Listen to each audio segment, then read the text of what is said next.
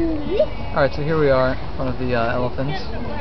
Um, cool thing about these guys is that, is that they have really, really, really long um, fronts, and that's that's cool. And that's pretty much all there is to say.